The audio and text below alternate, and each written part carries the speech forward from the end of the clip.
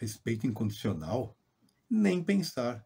Segura aí um pouquinho que eu vou falar já já o que eu penso sobre isso.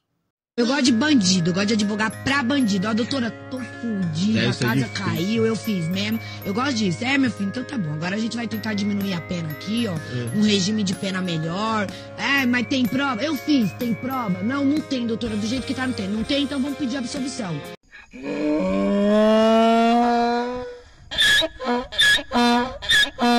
que não? Falar antes de livro, né? Não a Imagem de Deus, disponível na estante virtual. É um livro maravilhoso, ele vai tratar de mitologia, história da religião, história geral, provavelmente de uma forma em que o senhor e a senhora nunca imaginaram. O Mito de Sofia, nas escrituras de Nag Hammadi, é o meu lançamento. Ele está disponível no link aqui embaixo na descrição do vídeo. Ele é provavelmente o primeiro trabalho, pelo menos que eu sei, sobre o Mito de Sofia, restaurado aqui por John Lash, em Não, a Imagem de Deus. São duas pérolas que o senhor precisa ter em casa se o senhor gosta de história e mitologia. Respeito incondicional, no nosso ponto de vista, ele está ligado diretamente à questão da honestidade intelectual. Olavo de Carvalho ele definiu honestidade intelectual como não fingir que sabe aquilo que não sabe e não fingir que não sabe aquilo que você sabe muito bem. Então, nós partimos daí da honestidade intelectual como um bom parâmetro para discutir respeito. E um bom exemplo é a busca que você faz aí na internet sobre Olavo de Carvalho, e aí você abre a página do Wikipedia e você lê o seguinte: Olavo Pimentel de Carvalho foi um teórico da conspiração de extrema direita, um influenciador digital com expressiva influência na extrema direita brasileira. Na página em inglês você vai encontrar o seguinte: os livros e artigos dele, né? Eles divulgavam co- eh, teorias da conspiração, informação falsa, ele fomentava discurso de ódio e as- os pontos de vista eram rejeitados por alguns filósofos. Obviamente, os filósofos que rejeitavam o ponto de vista do grande professor Olavo eram aqueles englobados no conceito de imbecil coletivo, né? Que se juntam para celebrarem masturbação mental mútua as suas brilhantes ideias que só eles entendem, ou só eles fingem entender. Então o respeito começa por aí, né? A plataforma Wikipedia, que é uma plataforma criada essencialmente para informar os senhores, com uma tonelada de desinformação sobre um dos maiores filósofos da história do Brasil e talvez um dos maiores filósofos da história da humanidade, segundo este que vos fala, obviamente, porque eu já li muito livro do Olavo. E já li muitos livros de filosofia também, inclusive desse pessoalzinho da USP, que você lê, lê, lê não chega em lugar nenhum. O Olavo era um gênio e ele está sendo denegrido aí. Ele não fomenta eh, discurso de ódio, ele não fomenta a teoria da conspiração, ele vai direto no coração dessa demência esquerdista. Por isso que eu digo que a honestidade intelectual é um bom parâmetro para você eh, discernir o que merece e o que não merece respeito.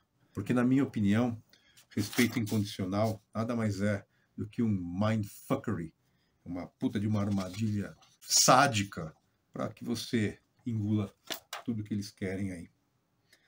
Nós somos obrigados né, a respeitar um monte de coisa que não merece respeito. E aí vem aquela confusão, né? É respeito ou é tolerância? Nem isso eles conseguem definir direito. Você quer que eu respeite ou que eu tolere? O que, que é tolerância? Ah, nós temos aí um presidente da República que já foi metalúrgico, então eu vou usar o metalúrgico como um exemplo aqui.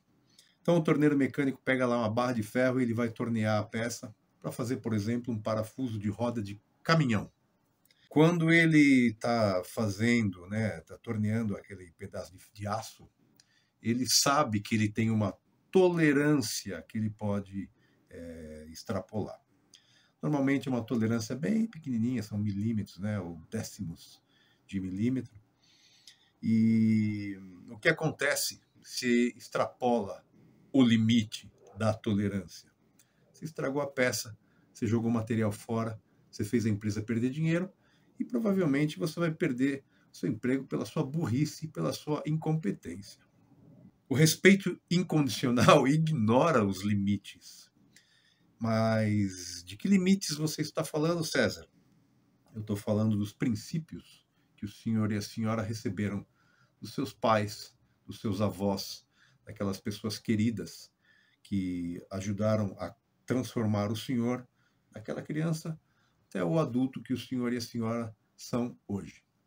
Os limites devem ser respeitados. Portanto, não existe tolerância para aquilo que não é tolerável. Não é mesmo? Os seus princípios são os seus parâmetros. Aquilo que seu pai, sua mãe ensinou como certo e errado, aquilo que seus avós prezavam, os anseios dessas pessoas que amam ou amavam, os senhores e as senhoras, eles precisam ser respeitados. Quando uma pessoa chega e canta o hino nacional com linguagem neutra, que é uma aberração, essa pessoa e as pessoas envolvidas nisso não merecem o menor respeito, correto? Então vamos dar uma geral aí no que temos em voga hoje, que nós somos obrigados a tolerar e a respeitar, porque eles acham que nós somos tudo trouxa. Então nós temos um vagabundo, comunista, invasor de terra, depredador de patrimônio público. Esse cara já levou uma exorcizada com uma carteira de trabalho, né, vindo por uma sacada genial do outro candidato. E é assim que tem que tratar vagabundo mesmo, tá? O cara nunca fez bosta nenhuma para ninguém, só ficou aí organizando invasão de terra, apoiador de terrorista, MST. Esse cara tem, merece o menor respeito. Ou você acha que eu tenho que respeitar um vagabundo desse? Não, né? Nós temos um presidiário aí famoso no alto cargo do governo.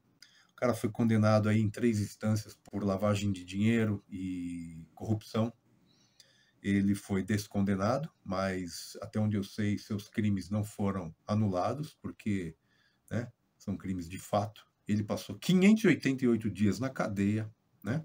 E está aí agora se dizendo a alma mais honesta deste mundo. Você acha que esse cara merece respeito? Se você acha que ele merece respeito, não sei nem como é que você chegou até aqui nesse vídeo. Nós temos aí um ministro dos direitos humanos que está sendo acusado pela ministra da Igualdade Racial ou qualquer coisa desse tipo, né, parece que é irmã daquela Marielle, ele está sendo acusado por assédio sexual. Você acha que um cara desse merece respeito? Hum? Merece não, né?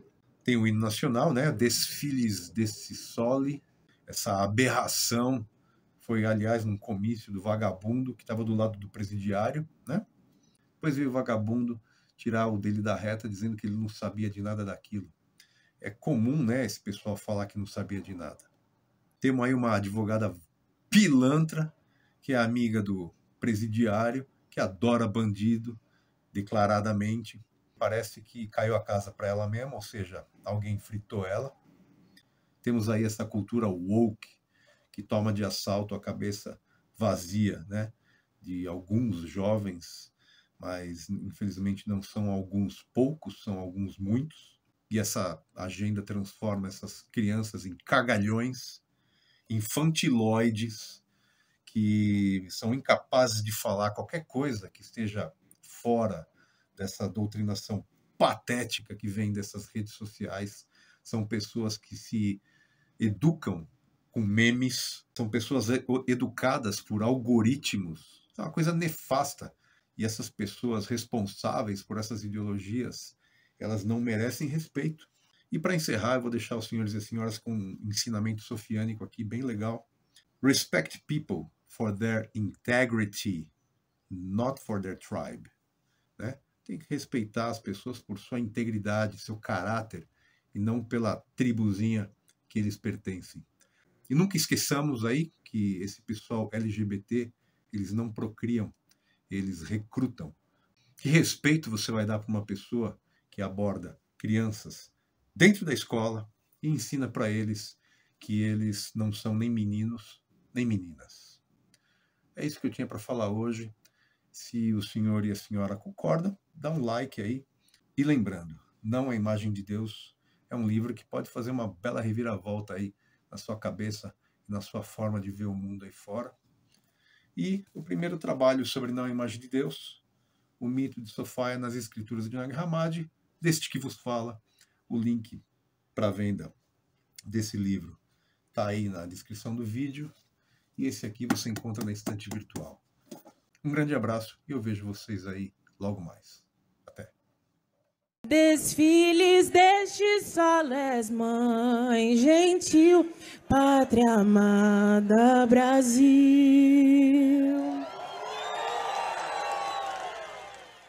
Eu gosto de bandido, eu gosto de advogar pra bandido. Ó, doutora, tô fudida, É, a é casa difícil. caiu, eu fiz mesmo. Eu gosto disso. É, meu filho, então tá bom. Agora a gente vai tentar diminuir a pena aqui, ó. É. Um regime de pena melhor. É, mas tem prova? Eu fiz, tem prova? Não, não tem, doutora. Do jeito que tá, não tem. Não tem, então vamos pedir absolvição. Ah, mas você sabe que ele é culpado, você vai pedir pra absolver. Sinto muito, a lei é falha. A gente tem aqui inúmeros incisos que fala de absolvição por falta de prova. Foi ele, mas não tem O prova. que você falou do Lula e seu olho brilhou? O que, que foi? O que, que é? O Lulinha? Papai?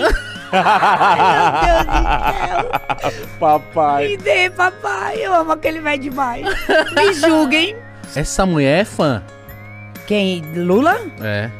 Por que que essa... Pai que eu não tive. Ai, Brasil! Alô, mãe, venci na vida! Olha quem tá aqui comigo. Esquece, o pai tá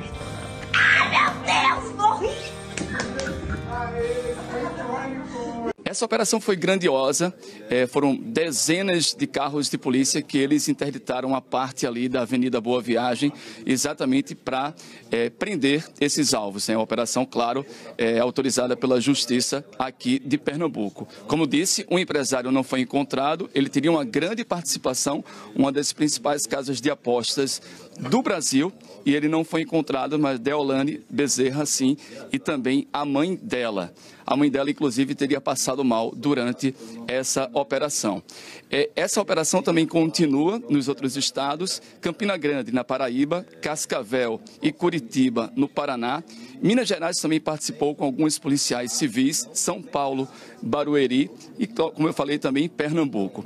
Então, cinco estados que estão integrando, que fazem parte dessa integração de polícias, inclusive com a DIOP, que é a Diretoria de Operações da Senasp, a Secretaria Nacional de Segurança Pública. aquele discurso tradicional, né? Nesse tipo de situação.